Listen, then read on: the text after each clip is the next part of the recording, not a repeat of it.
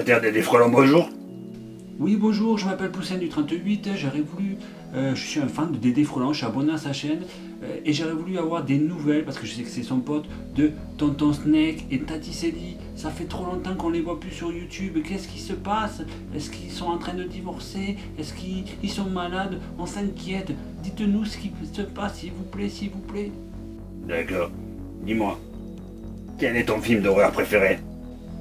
Euh, mon film d'horreur préféré, euh, Allez, euh, Les Dents de la Mer. ok. Tu as un contrat. J'arrive.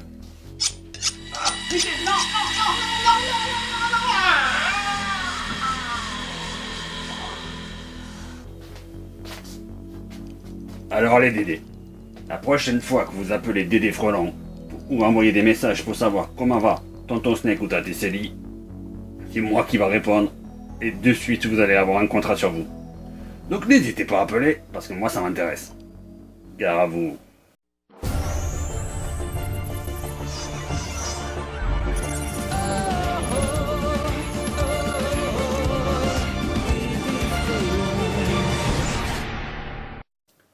Salut les Dédés, j'espère que vous allez bien. En tout cas, moi ça va nickel. Allez, on va parler de Tonton Snake et Tati Célie, mais deux minutes. Donc Tati Célie et Tonton Snake, ils vont très bien. Ils sont pas en train de divorcer, ils sont pas malades. C'est juste qu'ils en avaient un peu marre de YouTube. Voilà, ça fait 5 ans, je crois qu'ils sont sur YouTube. Ils avaient envie de faire une pause ou arrêter, je ne sais pas. Ça, c'est eux qui vont vous le dire. Voilà. Donc, pour l'instant, ils sont plus sur les réseaux sociaux. Ils se reposent, ils profitent de la famille et respectez ça. Voilà. Moi, je peux plus répondre à autre chose. Je reçois 10 messages par jour à peu près de demandes de Tonton Snake et Tati Célie. Donc, s'il vous plaît, m'envoyez plus de messages parce qu'à partir de maintenant, je ne répondrai plus. Et voilà, et restez connectés. Peut-être qu'un jour ils reviendront, peut-être qu'ils feront une vidéo, je ne sais pas. Ça, c'est que eux qui peuvent le dire. Mais ils vont très bien. Allez, je vous fais des gros bisous de leur part. Allez, je vais répondre aux questions qui me concernent. Je vous demande de rester jusqu'à la fin de la vidéo parce qu'il y aura une petite surprise en fin de vidéo. Et je vous raconterai euh, mon premier nid de frelons asiatique, comment je l'ai traité et est-ce que j'ai eu peur. Alors, première question de Jos IPP. En gros, il me demande, moi qui pratique le métier depuis un moment, je, je voudrais savoir, avec le réchauffement climatique, tu vois une augmentation des frelons ou le contraire Alors, avec le réchauffement climatique, c'est le changement d'insectes. C'est-à-dire que les insectes, euh, on peut les transporter, puisque maintenant on fait beaucoup de transport de plantes et tout ça. Donc c'est vrai que dans notre pays, on ramène d'autres insectes. Est-ce qu'ils s'ac- ils s'acclimatent? Oui, il y en a qui meurent. Le frelon euh, asiatique, il fait que progresser chaque année, donc il avance dans l'Europe. Donc pour moi, le frelon, il n'est pas en train de baisser. Alors, deuxième message, Michel C. Salut Seb, quelles sont tes passions dans la vie en dehors de ton métier? Alors moi, j'aime beaucoup le football. Euh, j'aime bien sortir en famille, voilà, profiter de, mes enfants. Et après, tout ce qui est années 90-80, euh, les séries, euh, tout ça, Netflix. Je regarde beaucoup Netflix aussi. Alors, question de Stéphane Lapage. Comment arrives-tu à gérer ton travail, tes montages vidéo, tes différents médias, YouTube, Instagram, Facebook, tes logos, ta famille, etc. Ben, c'est du travail, ça c'est sûr. Euh, c'est... Il faut aimer faire ça. Si on n'aime pas ça, c'est sûr qu'on ne trouvera pas du temps. Mais c'est vrai que ces derniers temps, j'ai pris beaucoup plus de, place sur mon travail parce que j'ai lancé ma société qui a que 3 ans. Donc euh, automatiquement, on met beaucoup d'énergie dans ça. Euh, je me suis lancé dans YouTube, ça me, c'est une passion aussi, mais ça me sert aussi dans mon travail, ça me fait ramener des clients. Maintenant que ma société marche, ben, je vais quand même un peu ralentir les choses et profiter un peu plus de la famille parce que je l'ai un peu négligé. Question suivante, là c'est pas une question, c'est mon ami Yucalisto qui me dit Salut Dédé, t'es au top. Merci. Gros bisous à toi, Yucalisto. Question suivante de César Vance. J'espère que je dis bien les, pseudos. hein. Ah, coucou Dédé, c'est normal que dans le nord de la France, il n'y en a pas. Je suppose, j'ai jamais vu de frelons vers l'île et ses environs. Alors, c'est vrai que dans le nord de la France, il n'y a pas beaucoup de frelons. Euh, je crois que j'ai un confrère qui en a vu, euh, Michael. Je crois que Michael, qui est pas loin de, de l'île, a vu un nid vide un jour. Euh, il y en a, mais c'est vraiment très peu. Le frelon asiatique est arrivé dans le sud-ouest de la France, dans le Lot-et-Garonne. Donc automatiquement, il s'est développé dans le sud-ouest. Et il avance petit à petit. Il n'y a pas 50 000 frelons qui arrivent à traverser la France et faire des nids plus tard. Donc ça va, ça va prendre du temps malheureusement, mais il y en aura. Là où il y en a beaucoup, c'est le nord de l'Espagne et le sud-ouest de la France. Alors, question suivante, Alain Monnier. Salut Seb, que fais-tu pendant la période d'hiver car il n'y a pas beaucoup de nids de frelons? Je sais que tu fais de la dératisation et quoi d'autre? Alors, la dératisation en général c'est toute l'année. Dans les grandes villes, les problèmes de rats c'est toute l'année. Euh, c'est vrai que les frelons s'arrêtent au mois de décembre, en gros. Et, euh, mais au mois de décembre, on commence à voir aussi les souris qui rentrent dans les maisons parce qu'il fait froid. Après, à partir de janvier, février, mars, il y a les chenilles processionnaires. Donc il y a quand même un peu de boulot. Voilà. Parce que je suis une société qui fait toute la 3D. Il y en a qui font que les guêpes et frelons. Donc automatiquement, ils n'ont pas de travail en hiver. Donc ils ont en général une autre activité. Question suivante. Kersi, guêpe et frelon.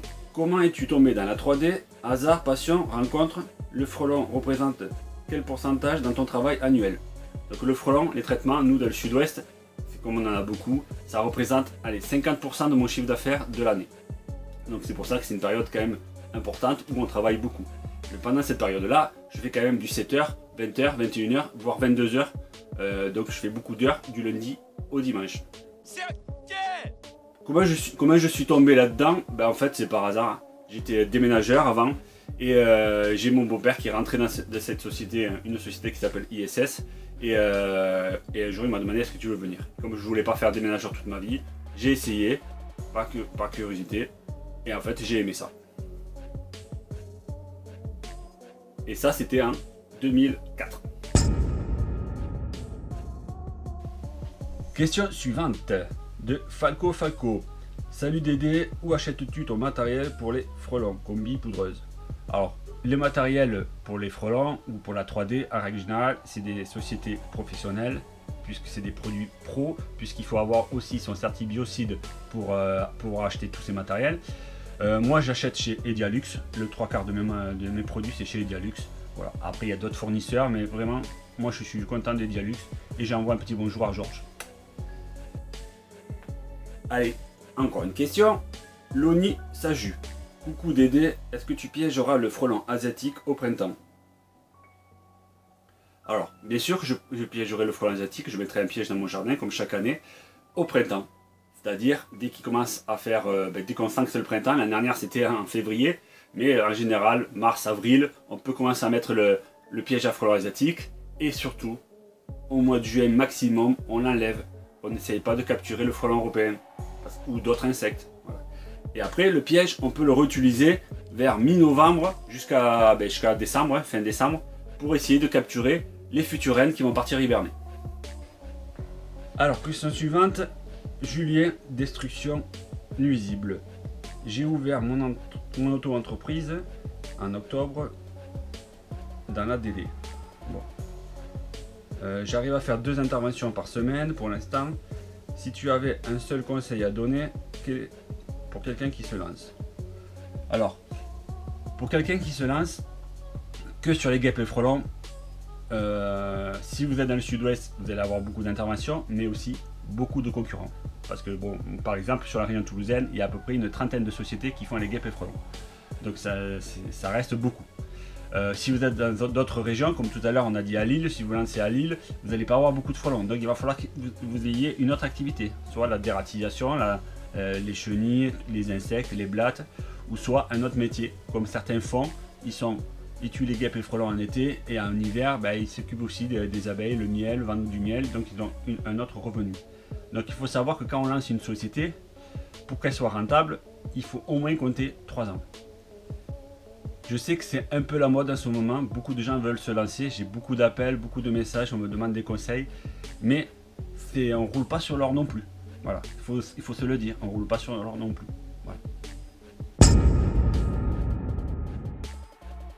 Alors, question de Aliouna. Ma question pour les rats. Pourquoi ils s'habituent aux raticides et deviennent résistants? Voilà ma question. Alors, les rats ne résistent pas aux produits. s'habitue pas. Ça, c'est une légende. C'est juste que le raticide, si vous le posez à un endroit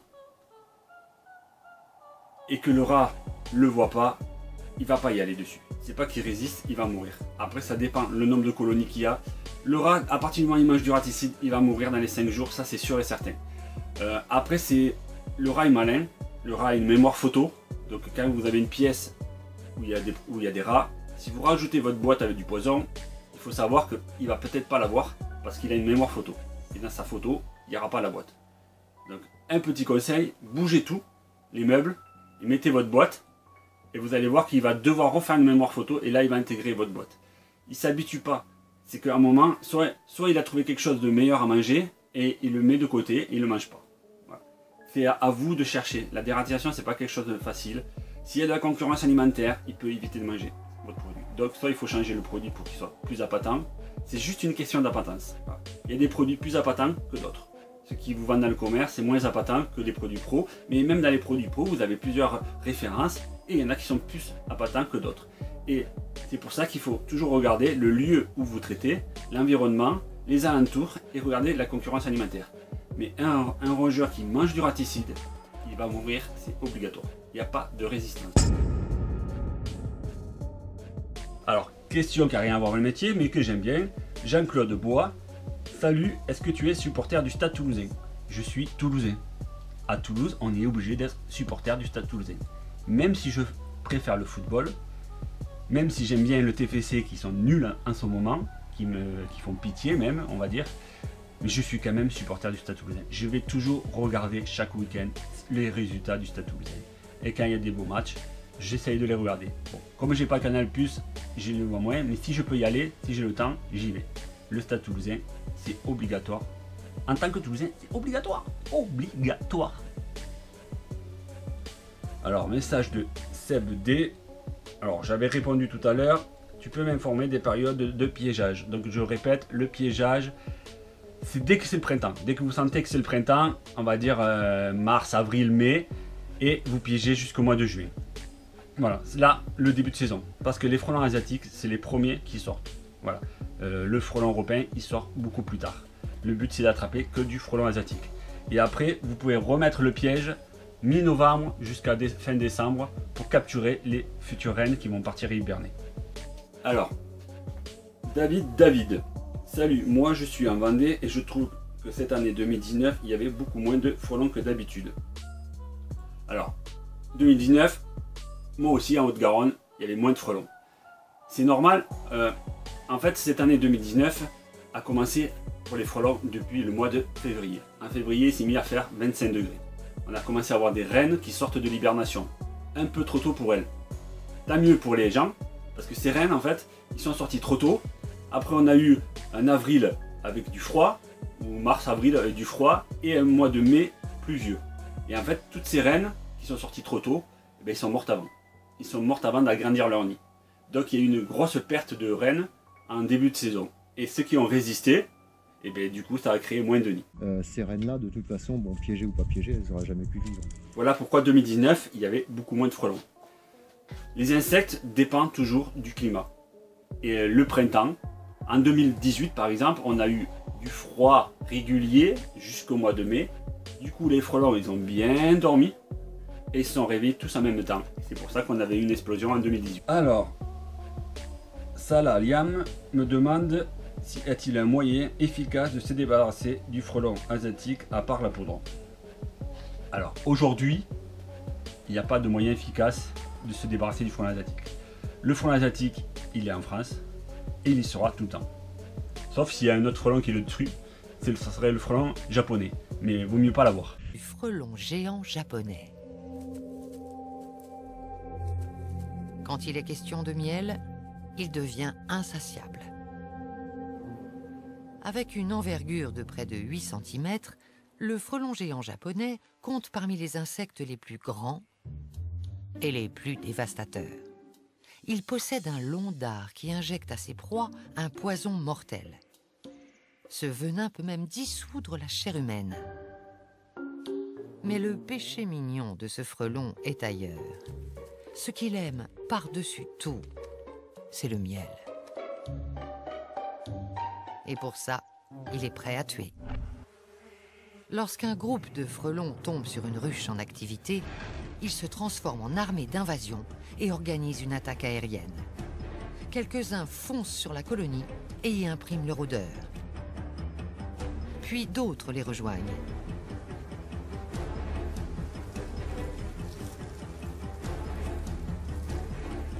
Grâce à ses mandibules tranchantes, un frelon peut tuer 40 abeilles en une minute.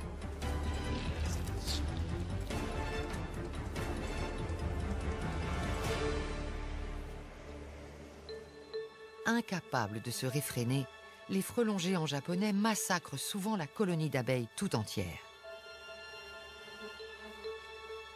Ensuite, ils mettent la ruche à sac et s'emparent du butin. Ils récupèrent jusqu'à la dernière goutte du précieux nectar sucré. Il il s'est installé, il s'est habitué, il a changé même ses habitudes par rapport à son pays d'origine, euh, il s'est adapté à notre, pays, il avance en Espagne, dans d'autres pays, euh, donc il sera là. La poudre pour l'instant c'est ce qu'il y a de plus efficace. Il y a des poudres naturelles, euh, donc il ne faut pas mettre une grosse quantité non plus, et essayer de viser que l'intérieur du nid et pas l'extérieur. Question de Mathieu. Salut Seb, quel est le pourcentage de particuliers ou de professionnels? Dans ta clientèle Alors, euh, moi je travaille à peu près avec 80% avec le particulier. C'est un choix. Je préfère travailler avec le particulier que le professionnel. Je le refuse pas, mais je vais pas, je vais pas démarcher le professionnel. C'est eux qui m'appellent. Je préfère travailler le particulier. C'est beaucoup plus sympathique. Euh, on a des interventions complètement différentes. Euh, en général, on y va parce qu'ils ont un problème.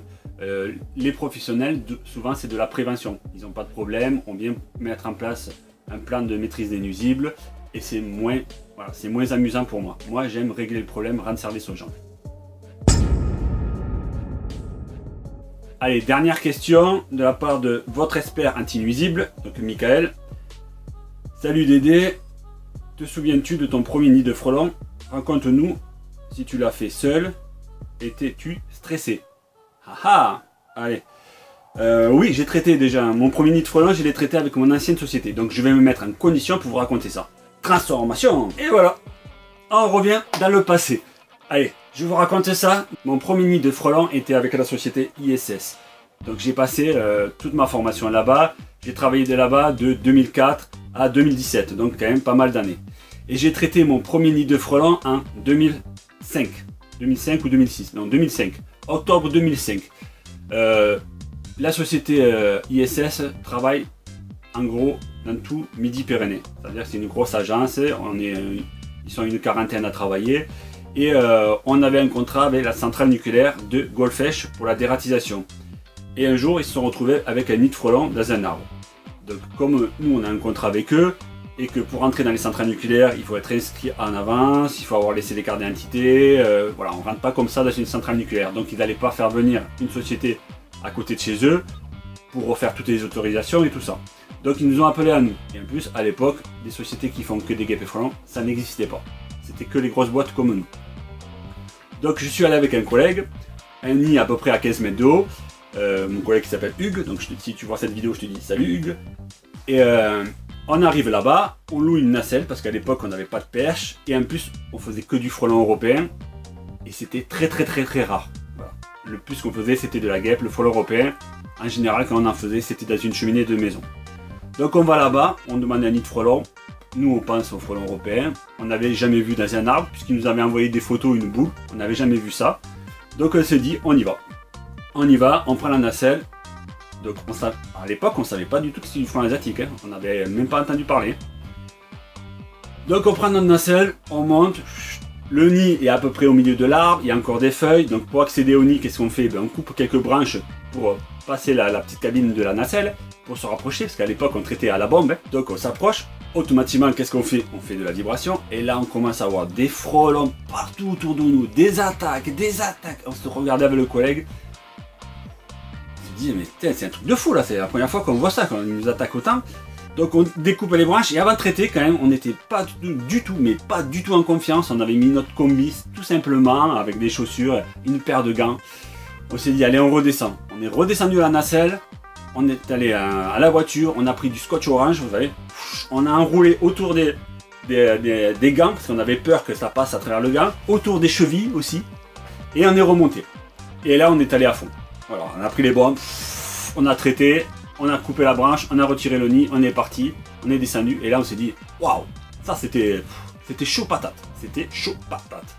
Et après, on a commencé à en faire peut-être un an après sur la région toulousaine, vers 2006, 2006 euh, fin 2006, on a commencé à en faire quelques-uns.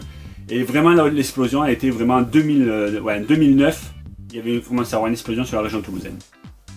Voilà, voilà mon premier C'était à Golfech, dans une centrale nucléaire, avec mon pote Hugues. Et euh, c'était une superbe expérience. J'ai eu peur, même moi, Dédé, j'ai eu peur au début. Mais maintenant, j'adore ça, je les connais par cœur et je vais vous avoir les frelons. Voilà les Dédés, on arrive à la fin des questions. Je vous remercie d'avoir posé ces questions, c'était plutôt sympathique. J'espère que ça vous a plu. N'hésitez pas à laisser un petit commentaire sur ça. Et je vous montre la petite surprise. La petite surprise, ça va être pour les fans de pop. Je suis un fan de pop, vous les voyez, tous les pop derrière. J'adore ça. J'ai demandé à un confrère toulousain, hein, qui s'appelle Jérémy, qui a une chaîne YouTube qui s'appelle Maudit, et qui customise les pop. Et j'ai demandé de customiser mon pop à moi, Dédé Frelon. Donc aujourd'hui, j'ai mon pop Dédé Frelon. Et je vais vous le montrer. Donc voilà le pop. On voit la boîte. J'espère que vous voyez bien. Le côté. L'arrière. Un truc de fou. C'est un truc de fou. Et regardez. Il y a Vegeta. Un petit frelon asiatique. Allez, je vous montre l'intérieur. Allez, je vous montre. Je ne sais pas si vous allez bien le voir. On le tourne. voyez, il y a le petit logo des Frelons. Le petit sac bleu de la poudreuse.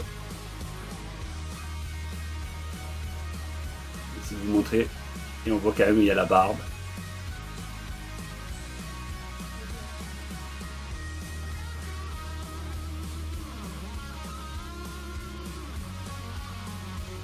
Et à la base, c'était celui-là.